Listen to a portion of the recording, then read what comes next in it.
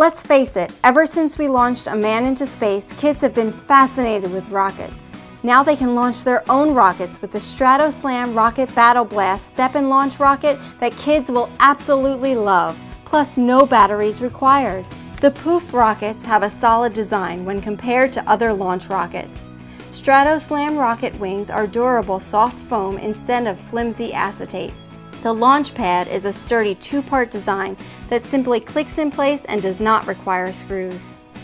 It's made to be long-lasting and kids and parents will see the difference when flying the Poof StratoSlam rockets 200 feet in the air. With the Battle Blast set, you can challenge your friends to see who can send their rocket higher into the stratosphere.